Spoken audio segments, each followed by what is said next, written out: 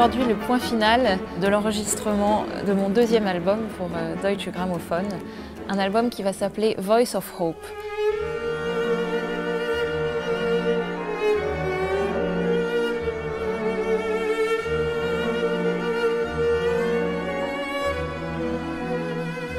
Je considère que la musique est porteuse d'espoir, que la musique élève et euh, qu'elle a de la compassion, qu'elle peut consoler, qu'elle peut rassembler. Euh, et cette euh, croyance, c'est quelque chose que Fazil Say partage.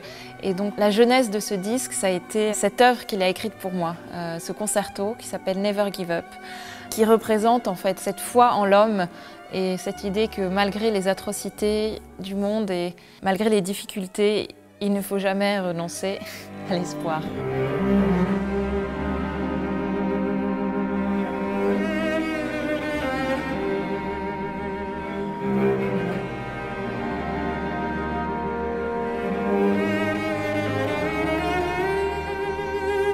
Concerto est né au lendemain des attaques du Bataclan à Paris et à Istanbul quelques mois plus tard. Et d'un coup, ça a pris une force, euh, je pense, dans l'esprit de Fazil. On peut juste remettre pardon, le, début euh, de, ça. De, Et après, juste, il faudra qu'on décide comment on fait cet enchaînement?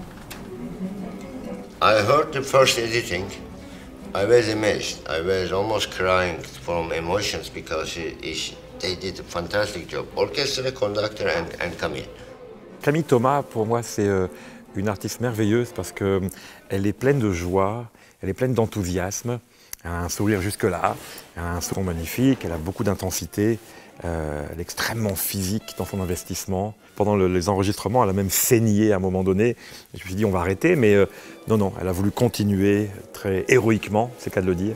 Voilà, Camille Thomas, c'est euh, Never Give Up.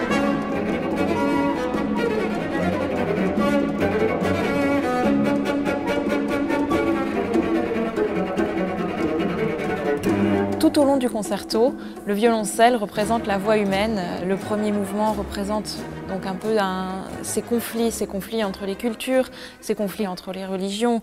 Euh, c'est un mouvement qui est, euh, qui est bouillonnant.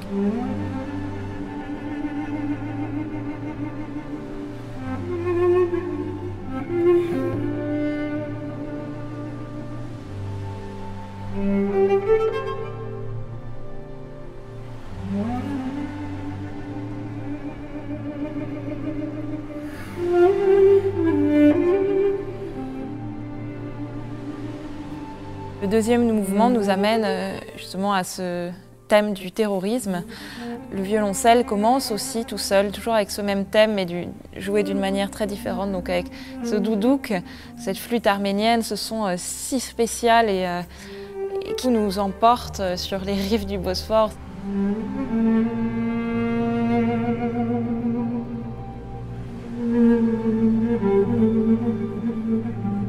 On a quelque chose comme ça de très pur et puis peu à peu le, mal, la noirceur arrive pour arriver à, l'entrée en fait des Kalachnikovs.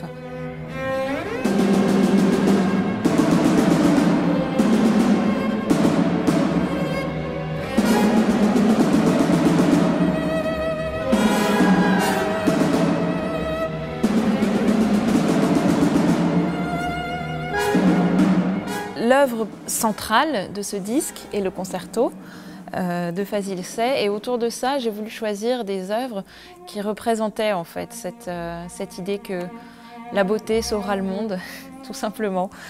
Donc des œuvres plus courtes, euh, des œuvres qui peuvent vraiment parler au cœur du public.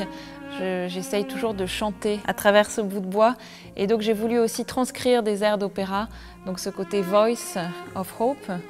Euh, et puis jouer aussi voilà, des pièces euh, spirituelles comme euh, le Kaddish de Ravel, Kol Nidre de Bruch, d'autres airs d'opéra comme Una furtiva lacrima de Donizetti.